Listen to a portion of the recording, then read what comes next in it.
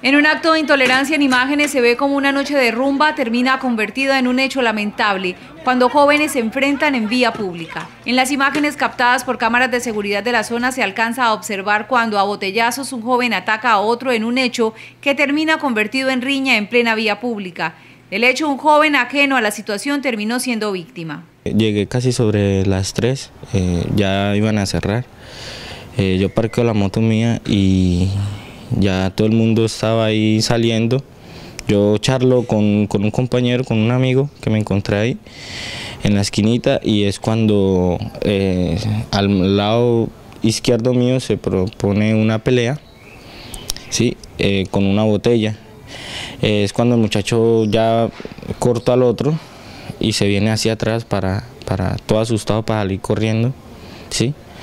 Eh, o separar o alejarse de, ahí de, la, del lugar.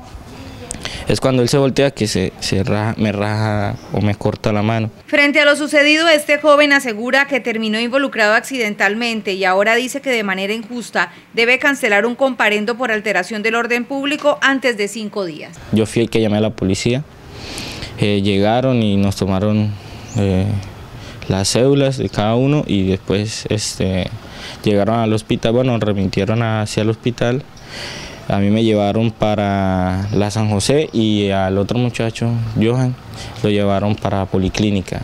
Al otro señor lo llevaron eh, para el muelle, eh, el cual hicieron, nos hicieron un comparendo a todos, que por espacio público eh, pues la verdad yo no, yo no estaba metido en ese inconveniente, solo fue, una, un tercero que salía afectado la, del inconveniente que ellos tuvieron. Este joven, quien accidentalmente terminó involucrado en el hecho, hace un llamado a la tolerancia. Bueno, yo le hago un llamado a todos eh, que salgan, si se puede salir, pero todo pacíficamente. O sea, si usted ve que le hace mal el alcohol o entonces bájele un poquito al alcohol.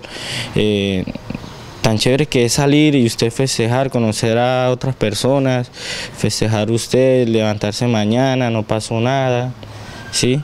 Pero eh, hay que, hay que este, eh, saber manejar esa situación. Autoridades intervinieron en esta situación registrada frente al Parque a la Vida. Enlace Noticias dialogó vía telefónica con involucrados en el hecho, quienes se negaron a entregar declaraciones por lo sucedido.